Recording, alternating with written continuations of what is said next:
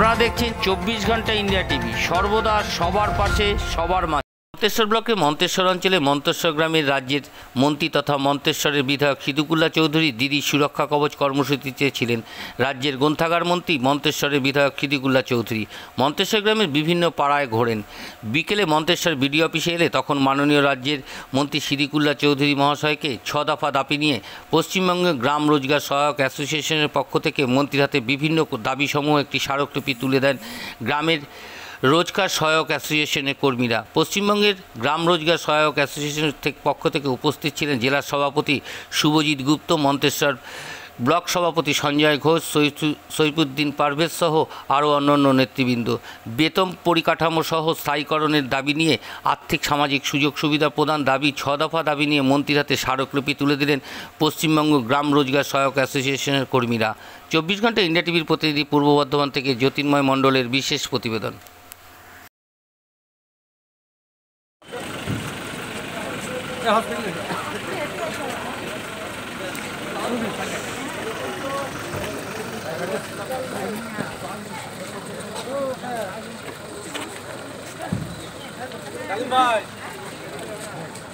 বেদনা ডালিম ভাই ডালিম ভাই এসেছেন আমরা আজকে আমাদের এই মন্তেশ্বর বিধানসভার মাননীয় বিধায়ক উনি দিদি সুরক্ষা কবচ কর্মসূচিতে উনি আজকে মন্তেশ্বরে এসেছেন। আমরা ওনার কাছে আমরা গ্রাম রোজগার সহায়ক পদে কাজ করি। আমরা আমাদের কিছু সার্ভিস রিলেটেড কিছু দাবি দেওয়া নিয়ে অনেকটা স্মারকলিপি ওনার কাছে প্রদান করার জন্য আমরা আজকে এখানে এসেছি।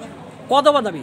আমাদের ছ দফা দাবি। কী কি দাবি আছে আপনাদের? আমাদের দাবি বলতে আমরা দীর্ঘ দু হাজার আট সাল থেকে আমরা একসঙ্গে কাজের প্রকল্পে আমরা যুক্ত এবং আমরা এই যে সায়েন্সের ভিত্তিতে আমরা এবং কম্পিউটার জানা আমরা স্টাফ দীর্ঘ দু সাল থেকে আমরা প্রায় পনেরো বছর এখানে কাজ করছি। কাজ করার পরেও আমাদের মাননীয় মুখ্যমন্ত্রী এগারোশো সাত, হাজার তেত্রিশ এবং তেত্রিশশো আটানব্বই এই মেমো মেমোর ভিত্তিতে মানে সরকারি নির্দেশিকার ভিত্তিতে আমরা যে কন্ট্রাকচুয়াল পোস্টে যে কাজ করছি সেই কাজের আমাদের যে স্থায়ীকরণ এবং স্কেলের স্থায়ীকরণ এবং তার সঙ্গে হিউম্যান রিসোর্স পলিসি সমস্ত কিছু লাগে এবং আমাদের যাতে স্কেলের স্থায়ীকরণ এবং তার সঙ্গে আমাদের সার্ভিস বুক এবং আরও আদার্স যে সমস্ত কন্ট্রাকচুয়াল কর্মী আছে তাদের মতো গ্রুপ সিএ ক্যাটাগরাইজ করে আমাদের যে মানে নির্দেশিকা অনুযায়ী আমাদের যাতে আমাদের উপর যাতে লাগু হয় সেই বিষয়ে দাবি দেওয়া আদায়ের জন্য আমরা মাননীয় বিধায়ক বিধায়ক সাহেবের সাথে আমরা দেখা করতে মানে স্মারকলিপি দিচ্ছেন? হ্যাঁ স্যার এই স্মারকলিপি মানে আপনারা কোন পক্ষ থেকে দিচ্ছেন?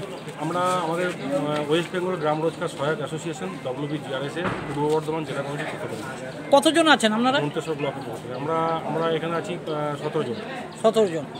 তা এই দাবি ব্লকে সতেরো জন আছি। এই দাবি যদি আপনাদের মানে সমাধান না হয় তাহলে আপনারা কি করতে চাইছেন? আমরা মাননীয় মুখ্যমন্ত্রীর দৃষ্টি আকর্ষণ করতে চাইছি যে আমরা এর আগে বহুবার আমরা ডেপুটেশন কর্মসূচি পঞ্চায়েত পঞ্চায়েত এবং গ্রামোন্নয়ন দপ্তর আমরা ডেপুটেশন কর্মসূচি করেছি এবং আমরা ডিস্ট্রিক্ট ভিত্তিক এবং হচ্ছে আমাদের বিডিও সাহেবের কাছে আমরা বিভিন্ন সহায়তা জমা দিয়েছি দফায় দফায়।